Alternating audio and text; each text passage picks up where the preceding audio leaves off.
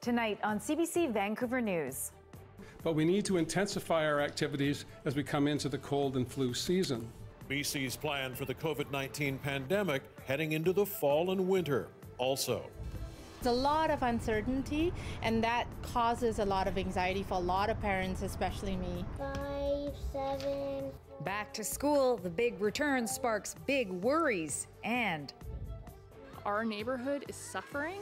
Why housing affordability is no longer Vancouver's number one issue. This is CBC Vancouver News.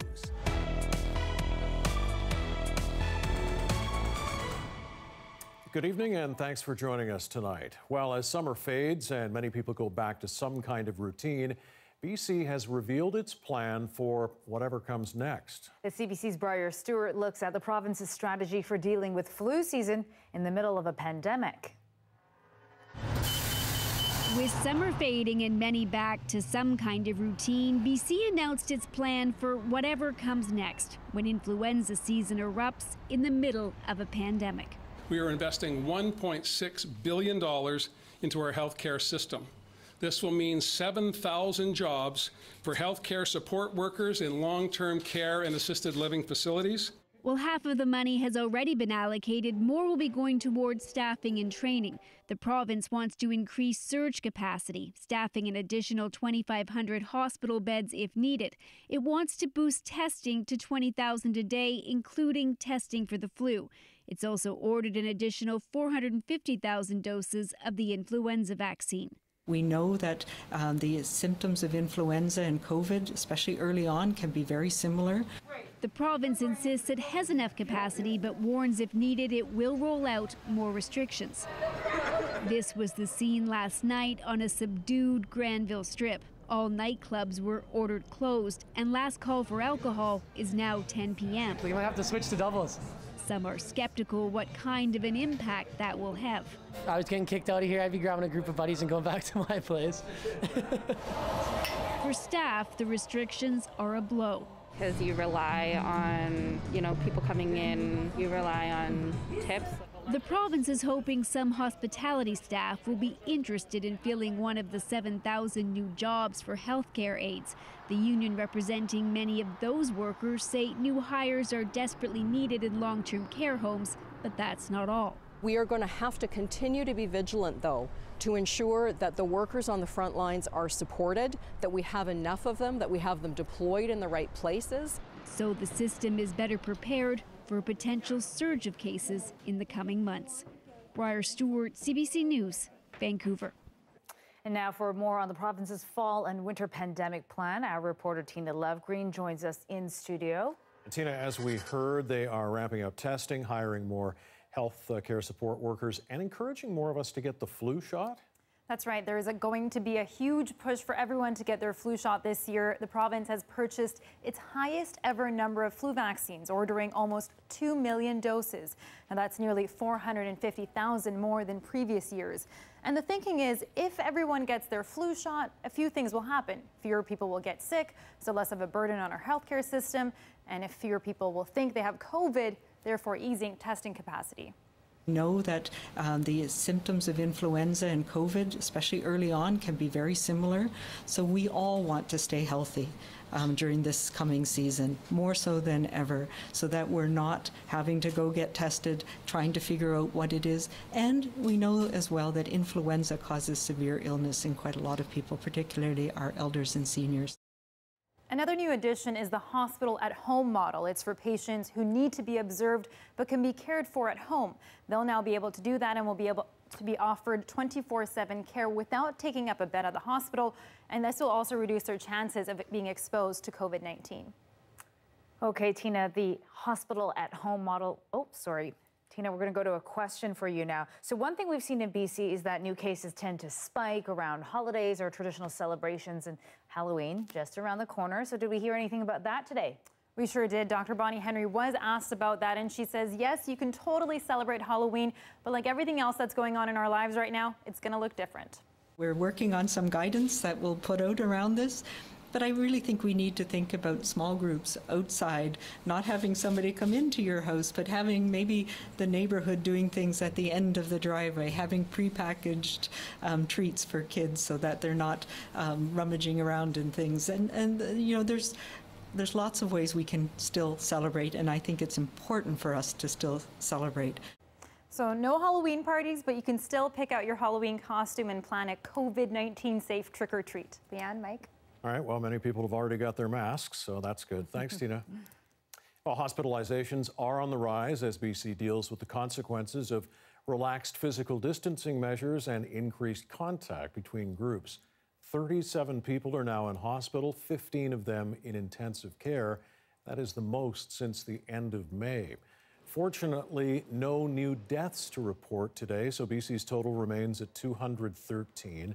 There are 100 new cases in our province today, though active cases have gone down for the first time in two weeks, albeit very slightly to 1,378. There are new outbreaks at the Royal Arch Masonic Home in Vancouver and at the Milieu Children and Family Services Society in Surrey. 12 long term care facilities and three acute care units of hospitals are dealing with outbreaks. If you tend to drive onto BC ferries, you soon won't be able to stay in your cars. Transport Canada is reversing one of its COVID 19 response measures on most routes. The agency was allowing passengers to maintain their own pandemic proof bubble by remaining inside their cars during sailings. But on September 30th, Transport Canada is rescinding that temporary change. It says adequate measures are now in place to prevent COVID 19 transmission, and it just isn't safe for people to be in cars on enclosed decks. Premier Horgan, though, says this change from the federal government isn't what BC needs right now. Uh, we're, we're certainly going to continue to press the federal government. We have, uh, I think, the, the directive uh, takes effect September 30th. Uh, we are in the throes of, uh, you know, moving resources into public transit, uh, whether it be BC Transit, TransLink, and BC Ferries, to, so we can stabilize our public transportation systems. This is an unwelcome intrusion by the federal government at this time, and we're going to pursue it aggressively. BC Ferries may also be anticipating pushback from the public. They also announced zero tolerance for abuse towards any of its employees. And many students head back to school tomorrow in our province. And while some may be learning from home, others inside classrooms, it's far from what anyone is used to. And as our Zara Premji reports tonight, there's at least one thing everyone is facing uncertainty. Mommy! You want that? Okay. Yay! One more sleep until the big day, but it'll look a little different than before. I'm putting an extra mask. Seven year old Raphael Kazernia is starting at a new school in New Westminster on Thursday. It's already nerve wracking. Now throw a pandemic into the mix for the almost grade two. It won't be the same for the little guy who's used to high fiving his buddies. Um, I'm feeling um, a little scared because uh, I'm scared of sick children there. The family of two has kept their bubble small since COVID 19 hit in March, but as a single parent, homeschooling just isn't an option. I know I'm going the opposite of what I've been implementing this whole time, but I also don't want him to miss out on whatever's happening in classrooms. Maniam just wants smaller class sizes, more space, and days split into half day sessions. How are they going to keep the students safe um, or socially distanced if possible. Is that even possible in classrooms? So there's a lot of uncertainty, and that causes a lot of anxiety for a lot of parents, especially me. Teachers are fearing what's ahead as well. This classroom is not a picture from pre COVID. No, it's what it'll look like for Chris Stoltz's high school students starting Thursday. In this classroom, uh, on tomorrow, there will be 27 people, 28 including me we will be it will be impossible to socially distance all of us um, by more than one meter. Everybody in this room is going to be within one meter of another person. The teacher of 22 years says he's worried about this curveball, that he'll catch COVID or his students will. While masks are not mandatory, he's hoping his students will join him in wearing them. There you go. I hope I don't. As for seven year old Raphael, well, despite the pandemic and its uncertainties, he just wants to see his friends. I feel actually um great. So I'm going to school, not online classes. But his mom says that might have to change as she tries to balance his education with his safety. Zara Premji, CBC News, New Westminster. YVR is canceling part of its long planned expansion as a result of the devastating effects of COVID 19 on the travel industry. Based on passenger demand, we simply do not need uh, that kind of a, a facility uh, in the foreseeable future. The expansion included a new utilities building, geothermal heating and cooling system, and a new parkade. Now, all work on the more than $500 million undertaking will stop by November. The airport authority is shifting their financial focus towards more immediate projects and pressing health and safety concerns instead. The plan was initially put into place when the airport was seeing double digit growth. The Boeing jetliner involved in two deadly crashes is going through flight testing over the lower mainland this week, aimed at returning the plane to active service after it was grounded worldwide last year. The tests are being conducted out of YVR by the EU Aviation Safety Agency, which has judged the 737 MAX 8 ready for testing. The airport was chosen because of COVID 19 travel restrictions between Europe and the U.S. The plane has undergone a redesign since nearly 350 people died in two crashes in 2018 and 2019. Transport Canada and the U.S. Federal Aviation Administration both began testing the updated plane elsewhere this summer. A 60 year old man has been charged with first degree murder in connection to the 2017 death of Nanaimo teen Michaela Chang.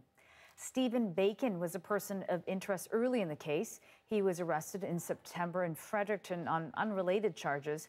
16 year old Chang was reported missing in March of 2017. Her body was discovered later that spring. RCMP say the investigation that led to the charges involved help from everyday people and police agencies throughout the country. Chang's family say they are relieved to see the charges. I'm very pleased, very pleased. Um, it's been a long time coming. We've been waiting uh, quite an extended period of time now with this COVID thing and everything else, so I'm um, very happy about the news today.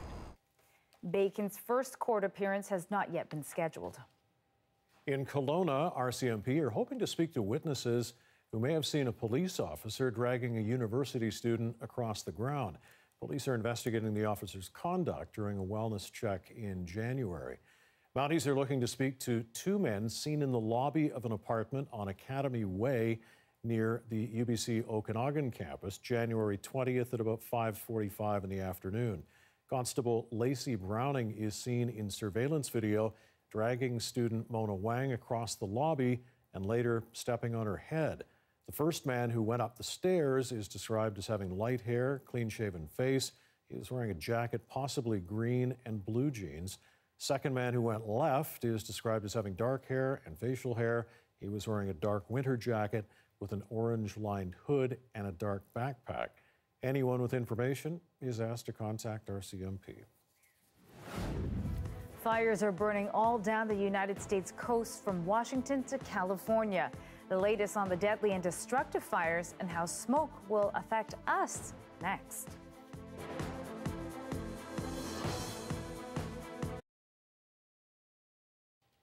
And thanks for staying with us online during our commercial free live stream tonight. Well, hydrogen has often been called the fuel of the future, but a renewed focus on alternative energy could soon make it the energy choice for today. And Canada is aiming to be at the forefront of the emerging sector. Kyle Bax has details on the federal plan to power up the industry. This is what you're going to connect to. David Lloyd shows how he fuels up his new Toyota with hydrogen. He bought the car a few weeks ago. For Lloyd, it's quick, quiet, and exhaust free. All the reasons why he's enjoying the ride. Mostly, I'm surprised that I could get in on this sort of next wave of technology.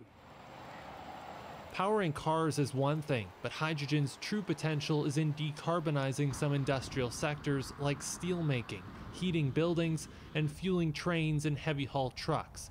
The federal government is putting the final touches on a new national hydrogen strategy to kickstart the industry. The focus is on reducing emissions. Things are changing very quickly this lockdown has been an accelerant on on trends that we knew were happening and hydrogen is one of those trends so we want to get ahead of it Part of the strategy will be financial incentives to help spur more innovation and try to rev up the sector. Kyle Bax, CBC News, Calgary. They say you can't always get what you want, but fans of the Rolling Stones can get some satisfaction if they happen to be in London today. I see what you were doing there. Yeah, well, that's because the British rock band has gone ahead with its launch of its first ever flagship store. And for the rest of us stuck on this side of the pond, here's a glimpse. So this is RS number 9 Carnaby, the world's first Rolling Stones flagship store here on the world famous Carnaby Street. Why would you open a shop during a pandemic? Well, you know, it's op- eternal optimism. Uh, I mean, yeah, you could have put it off, I guess, till next year. But I mean, there'll be a little bit of pickup, I think, yeah, and people will be curious. To take a store like this to the marketplace, I think is a really powerful and exciting message. You know, we used to work around there. We rehearsed near there, used to eat near there. Uh, but I mean, it's but it's also now it's a really good uh, place to have a, a, a shop on that corner. Is yeah, it's not bad. All of the product, whether it's about the design, whether it's about the, the, the, base garment, whether it's about the really cool new RS number 9 logo at the back of the garment, all of those elements make it a unique product to the store. Got here at 6 o'clock, up half past 4, got here at 6, got in at 11 hopefully it, will it'll be a nice place to hang out and go and you know be nearby and I don't know hope you can get a cup of coffee in there or something. You know, it, I'm sure it'll be fun.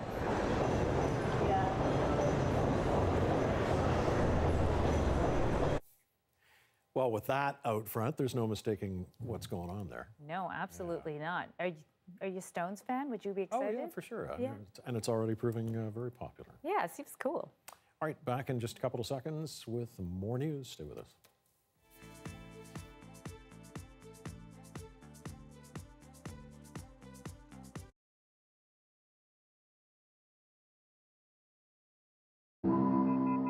The world is not back to normal.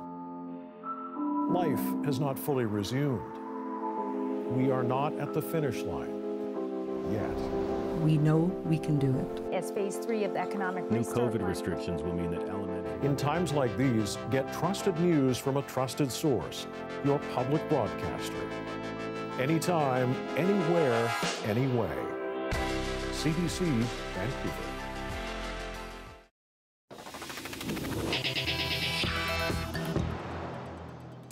City of Vancouver is holding a special council meeting Friday to discuss alternative options for the growing tent encampment in Strathcona.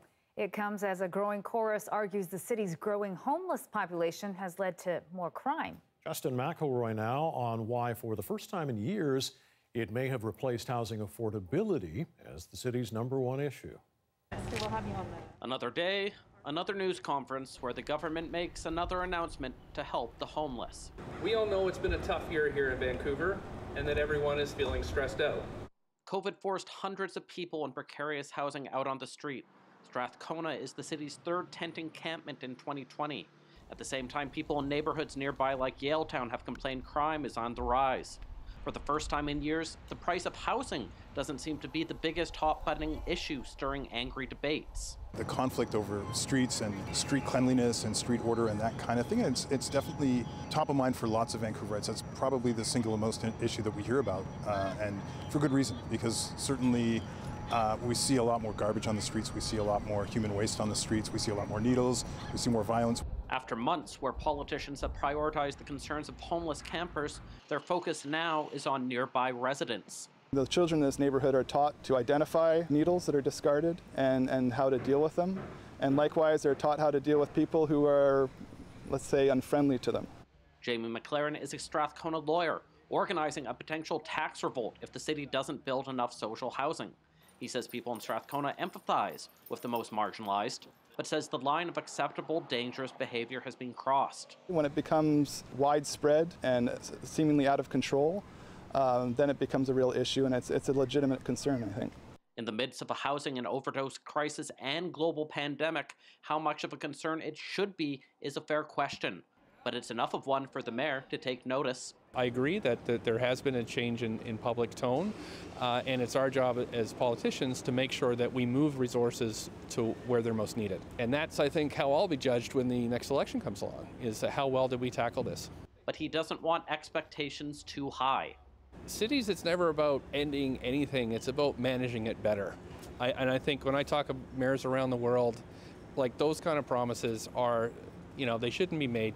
A far cry from the city's last mayor who promised and failed to end street homelessness, but an accurate measurement of where Vancouver's ambitions now lie.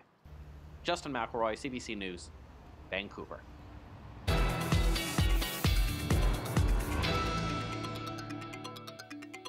A one year old boy was killed, his parents severely burned as they were fleeing wildfires in Washington state. Multiple fires are burning right across that state tonight, even leveling an entire small town in the eastern part of Washington state. This was my front room. There's my oven, my cast iron, you know, wood burning oven. Governor Jay Inslee says more acreage has burned in a 24 hour period than Washington usually sees in an entire fire season. High winds are contributing to the fire's spread. They're also being blamed for downing power lines and leaving many people in the southwestern part of the state without power. And meteorologist Johanna Wagstaffe now joins us with more. So, Joe, you've been keeping an eye on these fires and just devastation down there. Absolutely. In fact, the situation across all three states has worsened over the past 24 hours. You were talking about uh, things in Washington state uh, getting worse.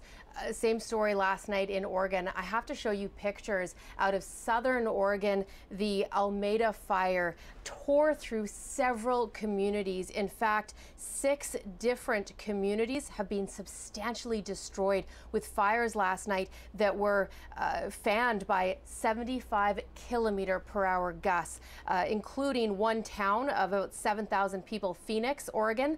That's where 1,000 homes were destroyed. Many people having to drive through the flames to evacuate, and officials really trying to get a handle, of a, handle on the situation uh, almost 20 hours later, still not sure who's missing from each of those uh, communities. Uh, those fires, 35 fires burning in Oregon, uh, moving through about 300,000 uh, acres last night, and at least two people were killed. Uh, similarly, thousands evacuated in the middle of the night in northern and southern California when those fires Uh, continue to be fanned by Santa Ana winds. I want to take you, though, to uh, what the governor of Oregon said today it, it has been a dire situation and it continues to be a tough situation for firefighters. Take a listen. We are all in the same soup of cataclysmic fire. And the reason we are in the same soup is because the grass is so dry, the temperature is so hot, the winds are so heavy. And these are conditions that are exacerbated by the changing climate that we are suffering. And I do not believe that we should surrender these subdivisions or these houses to climate change exacerbated fires. We should fight the cause of these fires. So that was the uh, governor of Washington uh, saying how all three states really are connected. And here in British Columbia, we are watching that situation closely under high fire risk in through the interior and watching for that smoke to return across the southern sections of the province for tomorrow. Let me show you the uh, forecast highs right across southern BC. This is where we have not one, not two, but three special weather statements in place. Two for air quality, one because of the smoke moving back in tomorrow, but also that high pressure really cooking low level, low level ozone. So poor air quality regardless. And the third temperatures. Take a look at that heat tomorrow, possibly getting up to 28 in Vancouver. We will see things cool down a little bit for Friday, but definitely a lot to watch for in the next 24 hours. Absolutely. All right, we've got your eye on it. Thank you so much, Joe. It's a mural meant to spread cheer and happiness. Meet the artist behind this Port Moody creation. That's coming up.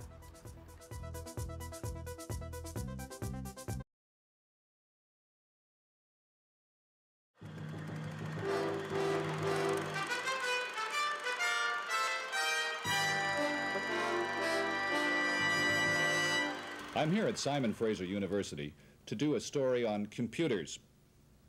I wonder if my boss made the right decision to send me, whether or not he used the right process. The university has one that helps management make decisions about hiring, firing, and who should make coffee in the morning. Does the problem have a quality requirement such that one solution is likely to be more rational than another? Yes, no, or help? Yes. This one is called a decision support system. It can even be used in the television news business. The story assignment editor wants to know if it's worthwhile to do an item on, say, computers. He plugs in and is ready for action. I must have done something wrong. Is acceptance of the decision by subordinates critical to the story? Certainly should be. The computer lists a series of predetermined questions. The operator answers yes or no. The result is a printout from the machine that indicates whether or not to cover the story and how it should be done. If he's wrong, he can always blame the computer. Spelled my name wrong. Not gonna do it again. Embarrassing, eh? It certainly is. the next thing could be a machine that does the reporter's job. And now we're looking at the uh, final recommendations the, the computer makes, and uh, now all I have to do is go ahead and, uh, and follow its suggestions or make a decision on my own. Okay. Writes, edits, and narrates, and never makes a mistake, and never makes a mistake. No, you're putting in your name. You're on the first question. Oh! And never makes a mistake, and never makes a mistake. As long as you kick it once in a while.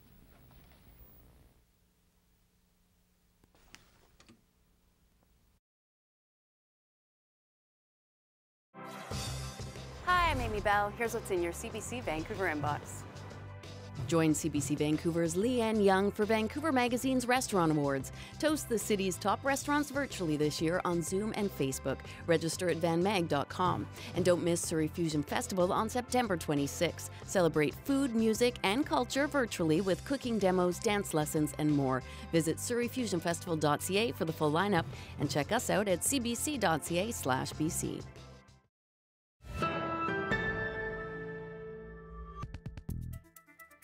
Well, an international mural artist has returned home to Port Moody to add some color to her city. Ola Volo is almost done spray painting a mural on the side of the building of Rocky Point Ice Cream. And our cameras caught up with her to see what her inspiration is behind the piece. So the mural that we're painting in Port Moody is about 20 feet high and 90 feet across. And it's going to take about the rest of the week. This mural in particular, it was a collaboration with Rocky Point Ice Cream and myself. And they reached out to me because they really wanted to see something like an, a narrative in, in an art piece. And so for, when we started to think about what we're going to put into this piece, we wanted it to reflect Port Moody and the animals that surround this area. You'll be able to see, uh, you know, mountains and boats and seals and bikers, everything in a mural where that reflects Port Moody. So when I got this offer, um, it, I, I knew that like I wanted to paint something in my community for a long time, so it was just a perfect fit for having something that's super visible, something that's that my family and friends go to a park all the time, and I really wanted to leave a mark in the place that I grew up in. I'm fortunate that when I produce these murals, it's uh, it's the perfect social distancing. As you can see, I'll be up in the air uh, by myself or with a, with an assistant. So I've been trying to keep it busy by planning ahead, and I think, you know, I really what really sparked my interest in the next, you know, in the next phase of my work is a lot more color, a lot more positivity, and I feel like it's our duty as artists to bring that to the streets usually with my work, you can kind of read the message really fast when you're driving a car, but with this piece, I think it's something where you can, you know, have a picnic, enjoy the artwork, and decipher it with your kids. What a cool piece. Yeah, it's looking good. Yeah. Gets to operate the genie lift and all, all that other stuff, too. That's right. Great artwork there. It is great. All right, just before we go, a reminder you can watch this newscast live online every weekday at 6 p.m. Yes, you can also find us on CBC Gem, Facebook, and on YouTube. And if you want to watch us on CBC television during the NHL conference finals, We'll be on at about 7.30, unless, of course, the game goes into overtime. Mm-hmm. Thanks so much for watching tonight. Yes, and uh, we'll see you tomorrow. Have a good night.